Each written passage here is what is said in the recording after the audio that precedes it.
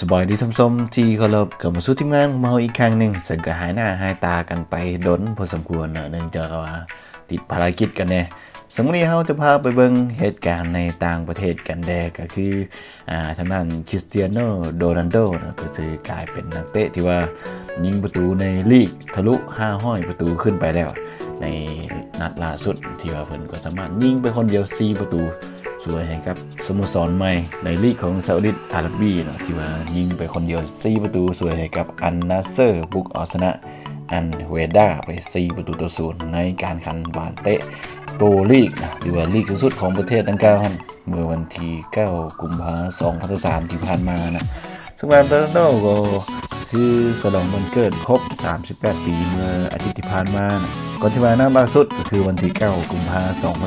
2023ยิงไปคนเดียว4ประตู ยิงได้นาทีที่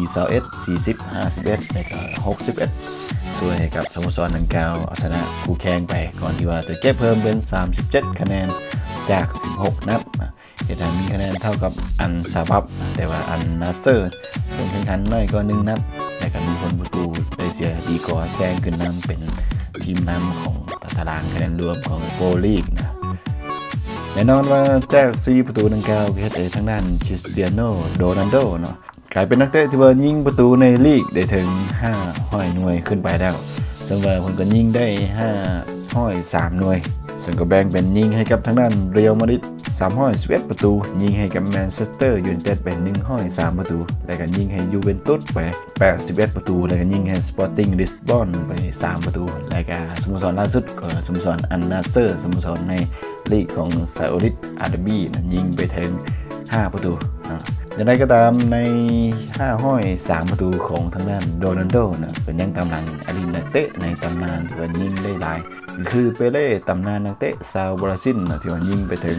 6 ห้อย 4 ประตูแล้วก็มีทางด้านโดมาริโอยิงไป5ห้อย 44 ประตูแล้วก็ยังมีโจเซฟบินซัมยิงไป5ห้อย 18 ประตูแล้วก็ยังมีทางด้าน เพเรนส์บุสกัตยิงไป5ห้อย14 ประตู